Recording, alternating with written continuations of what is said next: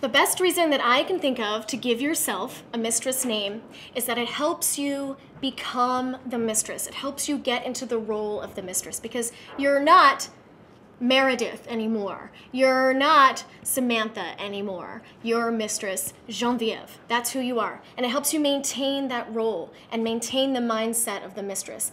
And that's going to help you do things that you wouldn't normally do, even if it's something that might be outside of your comfort zone, like giving an order. Get on your knees so I can spank your ass. That's going to help you with that. It's just like an actor on stage. They're not whoever the actor is, they're a role, they're playing a role. And that's going to free you up in the end to do the fun kinds of play that you probably fantasize about in your head.